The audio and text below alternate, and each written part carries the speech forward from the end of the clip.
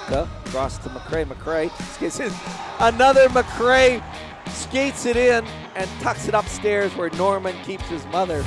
Kevin Phillips taken to the boards hard by Polozov. They all fall down. There's a cluster of human beings down there, and then they're Oh, shot by uh, It's uh, Zandoy. Oh, it was a great pass across. I think it was Chalice who made the pass across him, and he was all on his own on the other side.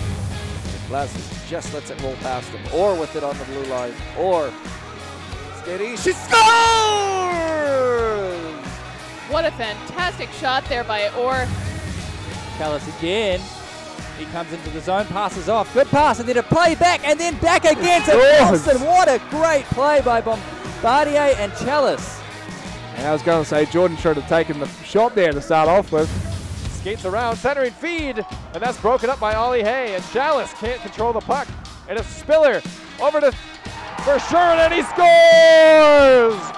The Admirals win in overtime, 5 to 4 on a Mike Verschuren goal from AJ Spiller.